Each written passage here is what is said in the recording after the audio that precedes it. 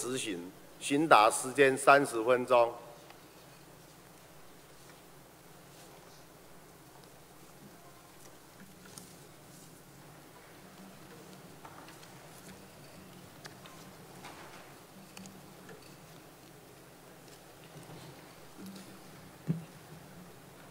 呃，主席、行政院张院长、各部位首长哈，我想以下是本席第一次啊来提出针对张院长啊的施政报告提出总质询哈。那么现在是不是先请啊主席哈，先请张院长。好，请张院长。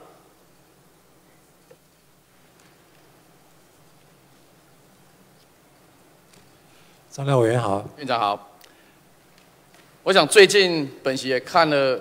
好几段的总质询，我看蓝绿蓝绿的委员都对院长的这个啊接任哈接任这个所谓的看守内阁哈看守院长的表现啊，都还肯还算肯定啊哈。那在本席的了解里面啊，历任的行政院长哈历任的行政院长在马政府的这个八年的历任的行政院长啊，大家都说你的施政满意度是最高。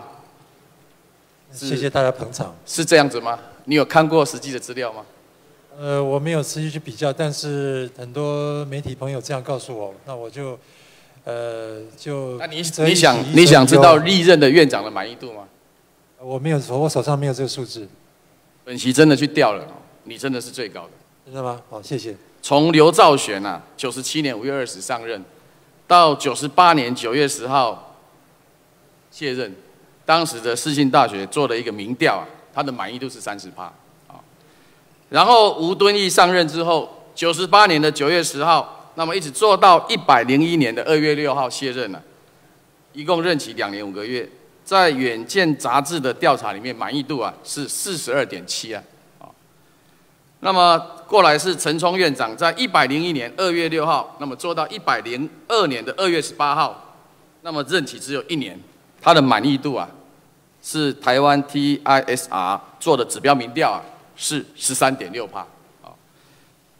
然后再过来接任的江宜桦院长，从一百零二年二月十八号做到一百零三年的十二月八号，那么一年十个月的任期，他的满意度啊，也是同样由指标民调做台湾指标民调做的，也是十六点八啊。再过来由毛治国院长接任了哈，那他任期只有一年两个月了哈，那做到那个一月三十一号，他的做的也是指标民调做的，也是十九点三帕。那院长你其实哈遇到了这个二月六号遇到了台南的这个赈灾，那我想你的表现啊，媒体的印象啊，我想占多数的这个啊感觉了哈。那在媒体做的民调里面，大概都满意度都高达六成以上了哈。那其实只有短短的一个月去看你的民调，其实我觉得也也不准哈。你自己觉得不准？不准。那你你觉得你可以做得更好？剩下的这个任期里面，呃，我跟委员刚才讲到一半，就是说一则一喜，一则一忧了啊。嗯。忧的是说，就像您刚刚讲的，说才一个月就有这个数字哈。呃，后面还有。将近三个月不到我我我觉得院长你的务实的态度啊，哈，本席是觉得观察起来应该是算是可以肯定了啊。不敢当，谢谢。那我觉得现在大家在讲，其实台湾的这一次的政党轮替啊，这个交接的任期啊，有长达四个多月啊，所以大家对于要不要定定总统职务交接条例，其实大家都认为说应该要定了哈。但是院长你不断的跟委员提暗示或者说提示。说会有限缩所谓总统职权等违宪的事情，那请问院长，你的态度这样的态度，到底你有没有看过？其实台湾政党轮替会变得常态了哈。那你知道政党轮替，台湾的这次四个多月的这个所谓的宪政空窗期，在民主国家里面算是长的、短的，还是你知道这个整个状况吗？你说是交接期啊。就是所谓的这个交接期啊，长达四多四个多月了。应该是比较短的啊，应该是比较长的，应该是最长的。对对对。如果我我，所以我想哈，来制定这个，把它制度化，制定条例啊，来把它法制化，我觉得有那个必要了哈。我我同意。那所谓的现说的争议，我觉得也不要因人而异啦。我想在过去两千零八年也好哦，国民党的委员也好，或者是那大概提的大概就是我看过那个条例的草案呐，大概相去不远啊。我想有关比较重大的争议性的法案哈，像最近因为本席长期以来比较关心教育文化的这个法案哈，那我们看到了。所谓五年五年一千亿的这个高教啊新世纪蓝图的这个案子啊，那当然五年一千亿，我们是不是请教育部吴部长一起来备询？部长，部长是委员好，我想本来这个事情你就说嘛哈，教育委教育委员会一定要认同，那么你才会送行政院核定啊，是因为它。长达了五年的一千亿的一个呃补助哈，是。那我想这个你曾经说过，如果不在五月核定，那整个大学是所谓申请这个补助会延宕一季三个月吗？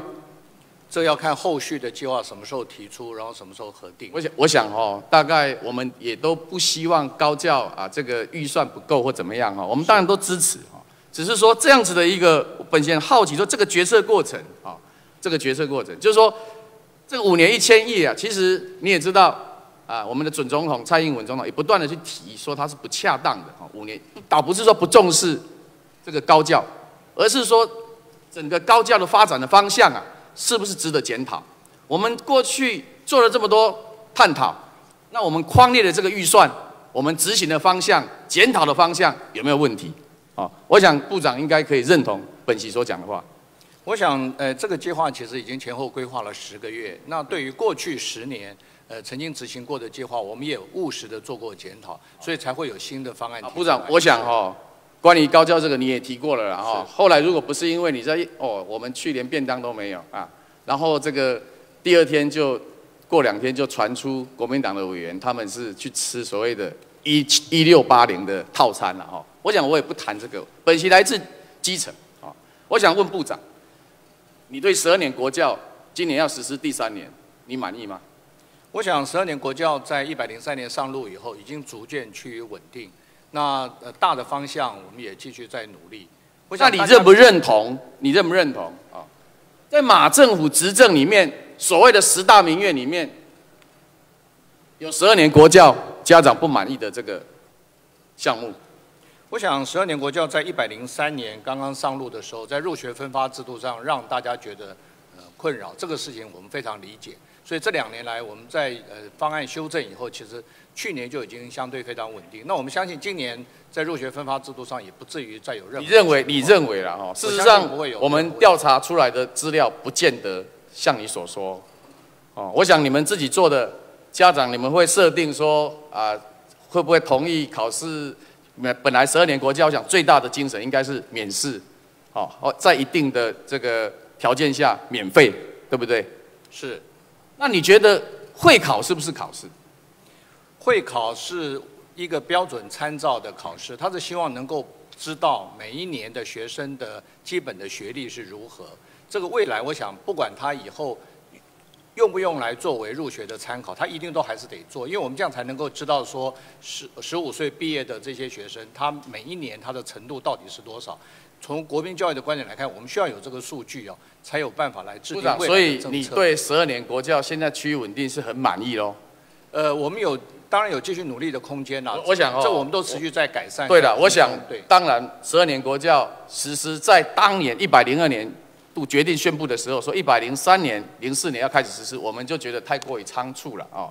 大家都探讨过了，我想我也不在这边再再来提这个，只是我要提醒，我想马政府之所以会被轮替，满满意度会那么低，我觉得十二年国教本席来自基层，我们非常了解，家长对十二年国教，教育界的老师对十二年国教，我相信他们的满意度，他们对于这样实施的很多你的政策理想跟你要达成的目标啊。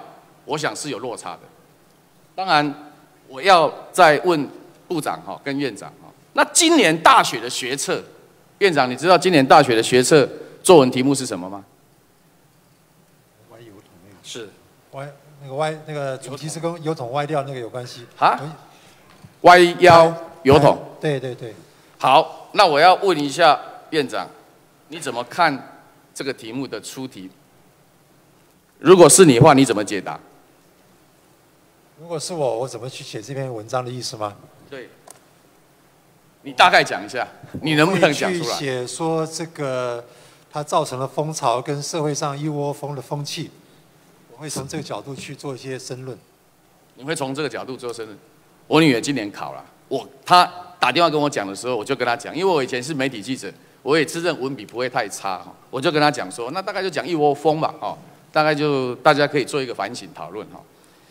她说：“爸爸，你错了。”她说：“她有所谓的这个。”里面哈，这个命题里面有引导写作，啊，她说，一百零四年八月八号，苏德勒台风来袭，台北市龙江路有两个油桶遭强风吹落的招牌砸歪了，因而被戏称为歪腰油桶。那么由于歪腰油桶姿势可爱，民众纷纷到该地拍照，使受灾油桶意外产生疗愈的功效，疗愈啊，疗愈的功效。此一新闻甚至引起了外国媒体的注意，每日皆对台湾人民在天灾及苦闷的生活中所展现的幽默感印象深刻。稍后，中华邮政还推出特制的邮戳，哦，就是人生嘛，歪幽嘛也无妨了哈。这样子的一个一系列主题颇受欢迎。那么，请就上述新闻事件以“我看歪腰邮筒”为题，写一篇文完整的文章。陈述你的看法、感想或评论，内容需切合歪腰油桶所引发的现象及回响。那那就有这个作文老师在报上写的说，其实关键词是部长，你知道吗？是什么？他说这一篇的作文题目关键词是什么？他这样子引导说这样子的一个题目，那到底它是关键点在哪里？我想那个呃批卷的老师会从那个各个不同的角度来看这个成绩了，他不会说只看某一个面向的。那你觉得呢？你觉得你觉得刚才在命题上有这样的引导，他是在讲什么？就是一个时髦的现象的流行时髦的现象，我听说关键词叫幽默啦，幽默啦，好像在苦中作乐啦，所以它里面有提到说。这个隐形嘛，歪优嘛，无妨啊，好像有一点点这个。他说，每日，诶，对台湾人民在天灾及苦闷的生活中展现的幽默感印象深刻嘛。他写在命题上面，诶，这样解题。那我我我我是觉得哦，我不晓得这样的题目。当然，我想出题老师应该也很用心，想要出一些创新的题目，让孩子能够哎展现他的这个创意哦，引申，然后从不同的思考面向。啊，去对这个现象平息，我想都没有错。其实刚才院长跟部长讲的，跟我跟我女儿回答的，应应该也没有什么问题了哦。大概观点大概可以看嘛。可是现在问题来了，我接到很多孩子的家长跟我说：“哎，奇怪，他儿子女儿以前写作文，大概都不会很差，大概分数都二十七分，大概都在哦一定的水准以上。那分看分数，实在是这种作文评评量本来就有点主观了哦。”可是他说奇怪，怎么考了都八分九分，还有十分十几分的了哈，所以他们就想说，哎，到底像这样子一个题目，包括我们如果知道，其实在苏德勒台风，我想它造成的灾损，应该是破了赫伯台风。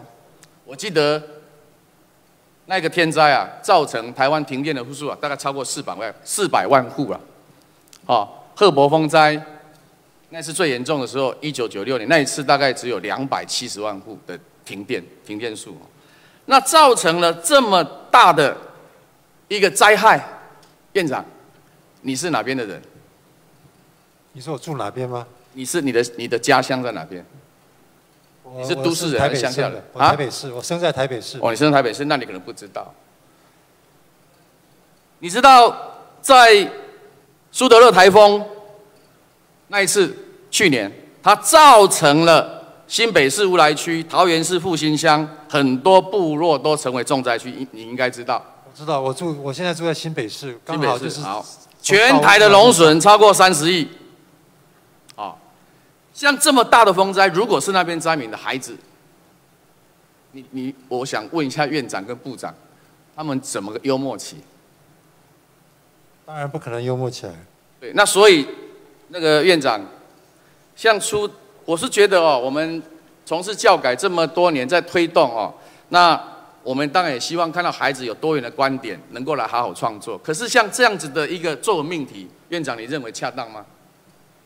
我觉得这个他刚刚您提的这引导式的叙述哈，是把它导向幽默，但是我刚才直觉上。我如果是学生，我去写的话，会写一窝蜂。你知道？你知道？我希望老师也是从多元的角度来评。你知道上个月的这个这个学测哈，有多少个考生拿到零分吗？很多，我有看到报道，我知不不知道数字，上是比两千两百四十人呐，哦，大概比去年啊多了六百四十多人，增加了四成，也是五年来零分最多的。对，我要讲的就是说，其实我们都很。都对这个，我们都一直花了很多的精神、时间啊，投入所谓的高教教改也好，基层的国教也好。那我们对于孩子的这个很多的，包括会考这样子的一个命题也好，我觉得不能老是从台北看天下了。哦，真的像部长，你觉得像这样子一个命题，你们部里面讨论过没有？因为大学入学联考基本上是独立，它是一个委员会，是它是一个委员会。那大考中心他们是在独立。我们当然也都尊重他的职权啦，哦，只是说出这样的题目，你你你认为恰当吗？我想老师在出这个题目可能有他的用意啦，不过我们会请大考中心。你觉得他的用意造成的这样子的零分跟城乡差距，这个是不是应该避免？我想我们会请他们来检讨这个未来的命题。我想才一个月了，我想有机会的话，应该好好来提了，哈，再过来。本席长期关心棒球运动，哈，我想部长你也非常清楚了，哈。是是。那我们另我还记得以前蒋伟林部长到，他也很喜欢棒球，他到台中去啊看国际赛，我们常常见面。我比较少看到吴部长哦。然后，我想从一个故事来谈哦。我在大概十年前，我带西苑高中的青少棒，我们到国外去比赛啊。是。然后我知道。因为中国的打压，我们的这个所谓的这个名称啊，国名都是用中华台北，是。好，现在我们也都习惯了啊，用 Chinese 台北。那最近啊，最近我们知道日本的职棒啊，邀请我们台湾的职棒到日本去比赛，在名古屋跟大阪，三月五号跟六号。对不对？是。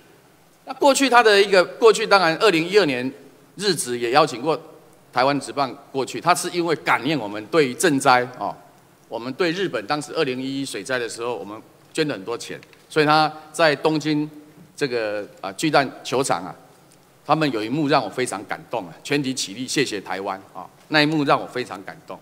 当时我们的中职明星队去那里，好几位球员都哭了，都觉得哇日本人。他们，我们对他们这样付出，他们这样那种回馈啊。那当然，今年部长，你知道今年中职明星也受日本职棒明星邀请，也去日本比赛，你知道吗？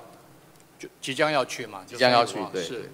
那其实过去啊，我当然讲这个，其实我提到说我要讲一个故事，就是说，其实我们我也曾经带球队到美国去比赛啊，譬如说小马联盟那些国际赛，那我们棒协都会选拔。那那是以城市为代表队，当时台中的西院就拿到代表队。那我们出了国去美国，我们就叫 Chinese 台北，因为那时候的奥会模式，我们的国际组织的名称就叫这样子。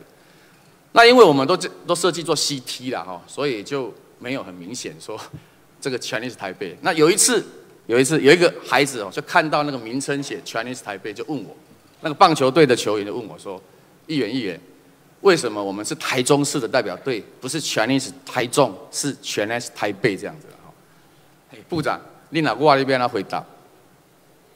我想我们在国际赛会中，因为是要国际上的认可，所以中华台北这个名称，因为已经使用了相当久，所以对外也是。我们现在都习惯了。是。其实我比较习惯说台湾了哦，当然各自大概都尊重，都知道是代表国家代表队了哈。我们也不是在计较啊。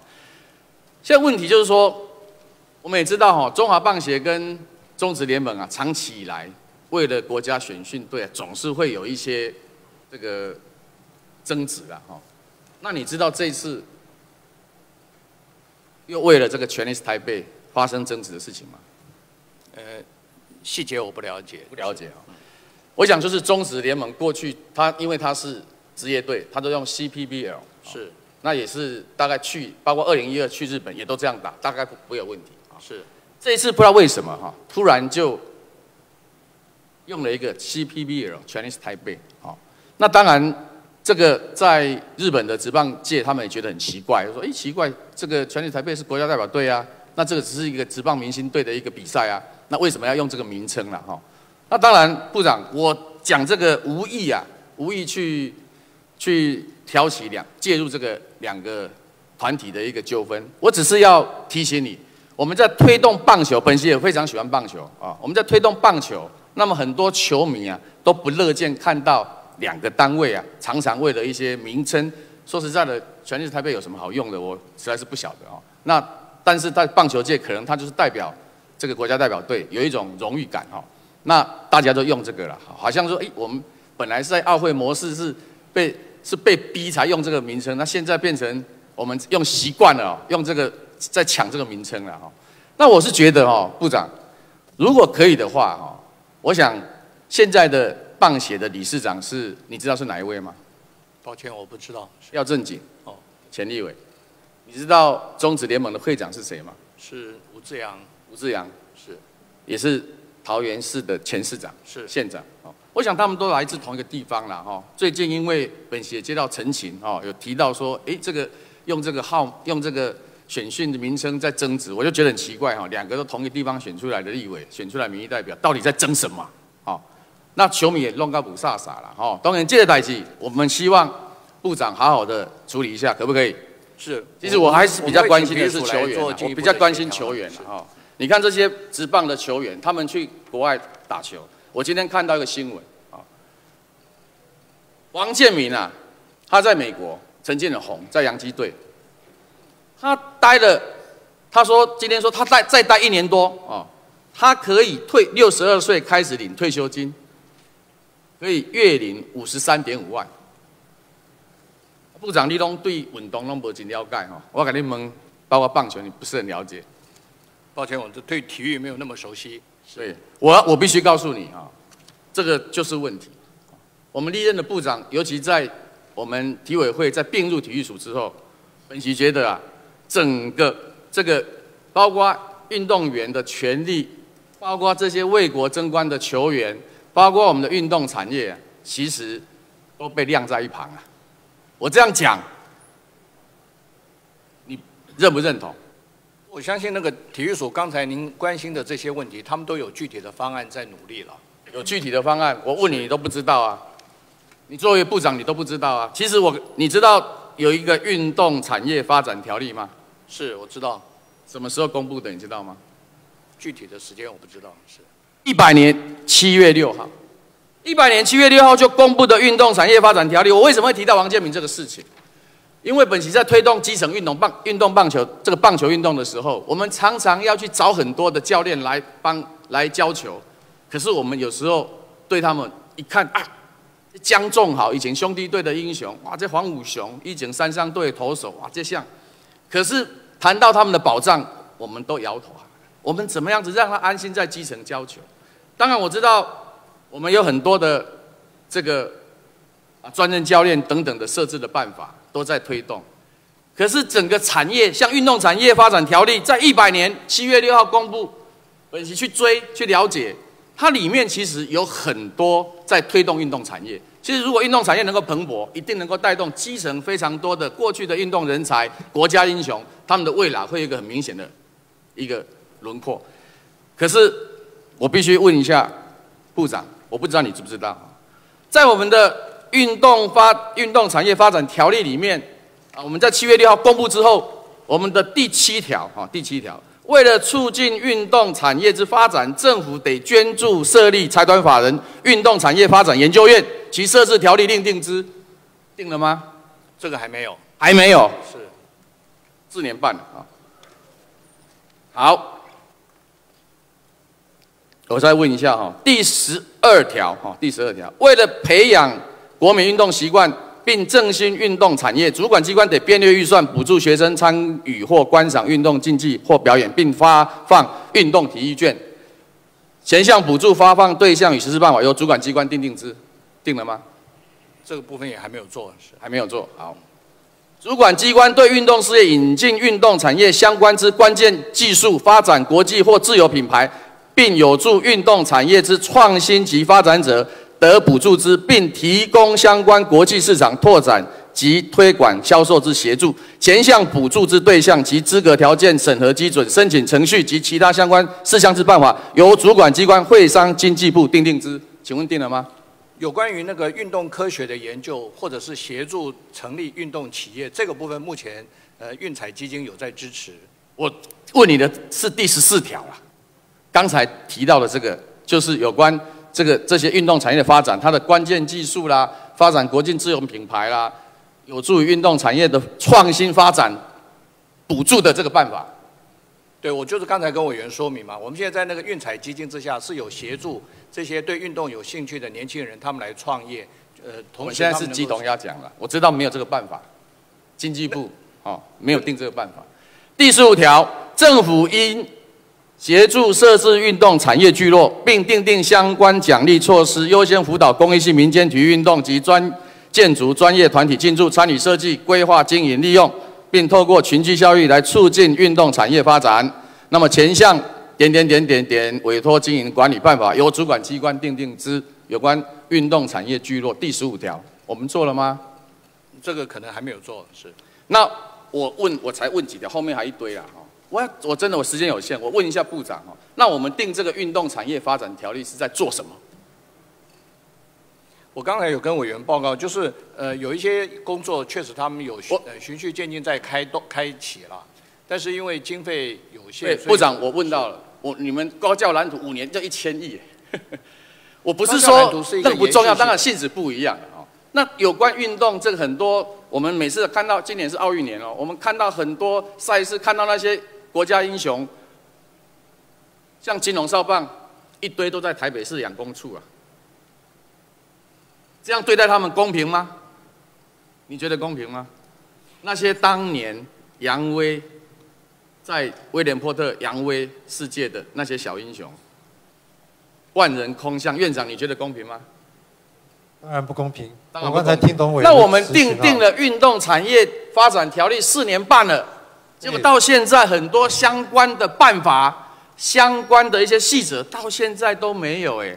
对，委员既然点出来了，我想这个教育部回去应该会很快折成。我觉得该做的要做哦，赶快把它定出来。我时间的关系哦，因为我比较关，我长期在关心了哦，我也希望啊，包括我也去调了强棒计划，你们对棒球的努力，那个我们都很肯定。但是问题有很多重要的条例，那么发展，我觉得主歧视的人，因为体委会合并到教育部之后，我感觉感觉连部长也不是很重视了，部长你也不是很清楚了。好那没关系，那请坐。我来剩下一点时间哦，我请那文化部黄部长。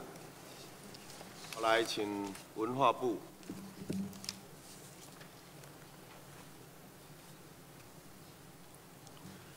那个部长，来。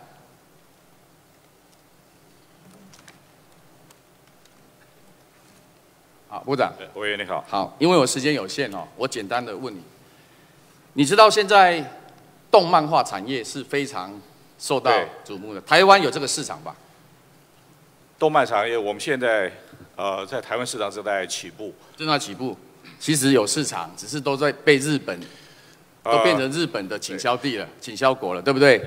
好，我现在不跟你讨论这个产业了啦，哈，因为我想台中市最近在争取，去去年就送了一个啊国家动漫影影像产业园区啊，我想这个计划。对，那这个计划目前在哪边？我们现在跟呃台中市啊，已经建立有一个平台。那我们的由于我们的陈陈次长啊，跟台中的副市长，那么我想那个在水南经贸园区啦。准备在那个呃，就是在西屯，哎，在水南经经贸园区啦。目前在国国发会审查嘛，对不对？对。今年五月要做决定嘛？我想现在是是所谓的看守或交接期了，院长。我认为这个没有争议哦，哈，这个东西大概有十八亿，这个对于打造台中市为国家动漫之都啊，这个是一个这个这个案案例。事实上是我们主动跟台中市政府、啊、提出来的。很感谢你，但是我们说我们来双方来合作。那么因为台中市政府它本身已经编列有十二亿，我们真的希望规划好了。我们希望哈、院长，我希望你能够尽速来促成。这个案子只要审查过程顺利，我们没有要他暂现在审查到什么地步？现在台中市政府啊，这个计划还在做，我们双方面在上个礼已经送了啊拜我看你们都已经开过一次平送到台会议，国花会去了啊是那个没还没有到国花会。那么台中市呃这个林市长也到呃行政院了。你的期程是从二零一六哦，是从明年开始，哎，二零一七哦，是从明年开始哦。我们大概